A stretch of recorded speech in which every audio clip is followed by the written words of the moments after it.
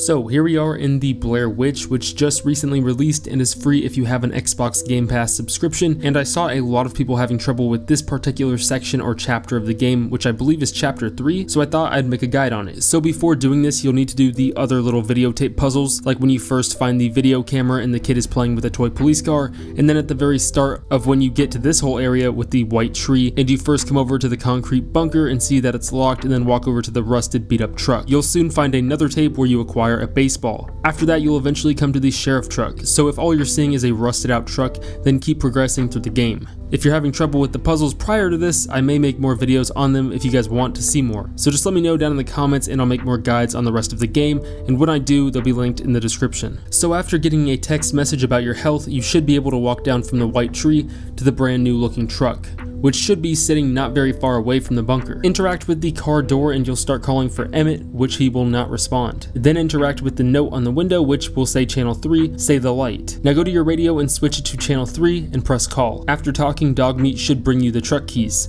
Enter the truck and if you look to your right you'll find a note. You'll need that in a minute. Look at the steering wheel and put the key into the ignition and then look to the left and try the headlights. Then pop the hood and then open the door to get out and then open up the hood and fix the battery cable. Now you can get back into the truck and try the headlights again and open up the fuse box. Now, what I did was look over at the radio and press the button, and a woman started talking. She'll then send you the code for the bunker door through a text message. After you receive it, you can get out of the truck and head back to the bunker, which is fairly close by and has at least two different routes to get there.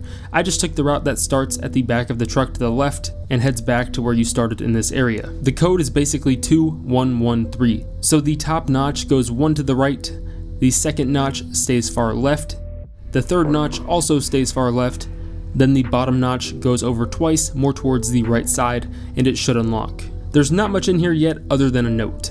Then you can head back to the truck and set the fuses correctly and end the chapter. When you exit the bunker, the shortest way back to the truck will be to head left, and then when you're out of the trench, take a right and the truck should be right there. Open up the door and interact with the fuse box, and all you should have to do here is move the number 6 fuse, which is used for the cigar lighter and we obviously don't need, to the number 7, which is used for the front lights, which is what we want. After that, the chapter will end. Again, if you want more of these guides and you are having trouble, just let me know down in the comments and I'll make more. See ya.